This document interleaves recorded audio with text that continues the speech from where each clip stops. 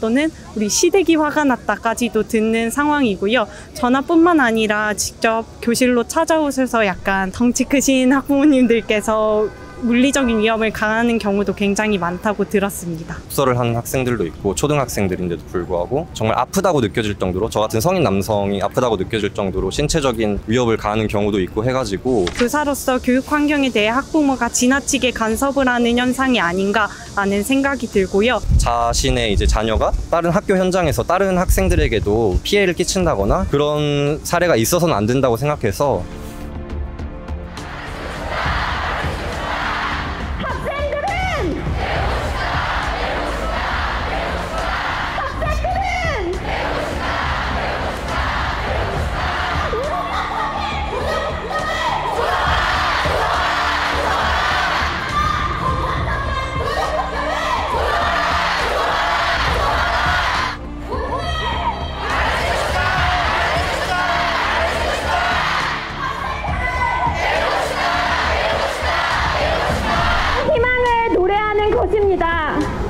네, 저는 지금 근무한 지 약 6개월 정도 된 신규 교사인데도 불구하고 저 역시도 학부모의 전화가 오면은 긴장을 할 정도로 그 정도로 민원에 굉장히 빈번하게 노출이 되어 있고요. 제 주변만 보더라도 전화를 해서 우리 남편이 화가 났다 또는 우리 시댁이 화가 났다까지도 듣는 상황이고요. 전화뿐만 아니라 직접 교실로 찾아오셔서 약간 덩치 크신 학부모님들께서 물리적인 위험을 가하는 경우도 굉장히 많다고 들었습니다. 경위서 같은 것을 보았을 때 어, 굉장히 안타까운 사건이고요. 주호민 작가께서 평소에 가지고 계시는 교육에 대한 생각은 전혀 모르지만 교사로서 교육 환경에 대해 학부모가 지나치게 간섭을 하는 현상이 아닌가라는 생각이 들고요. 악성 민원에 대해서도 조금 더 개선이 필요한 부분이 있지 않나라는 생각이 듭니다.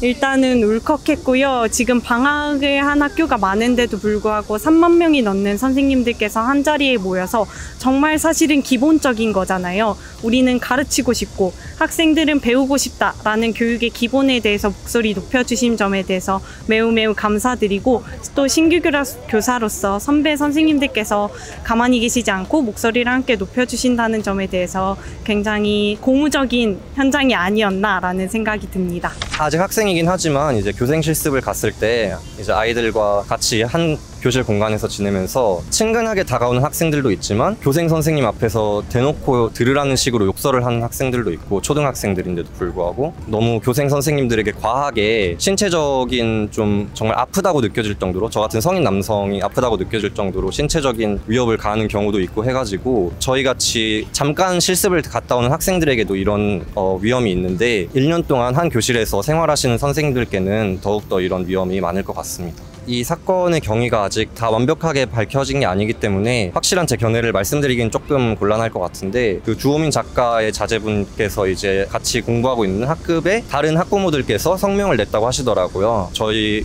담임 선생님은 잘못이 없다. 그리고 주호민 작가 입장문에 화가 난다. 이런 식으로 표현을 하셔가지고 어쨌든 이런 식으로 학부모의 지위나 권위를 이용해가지고 자신의 이제 자녀가 다른 학교 현장에서 다른 학생들에게도 피해를 끼친다거나 그런 사례가 있어서는 안 된다고 생각해서 단순히 교사에게 피해를 끼치는 것도 문제지만 이런 식으로 학습 환경에 영향을 미치는 것 또한 문제라고 생각합니다.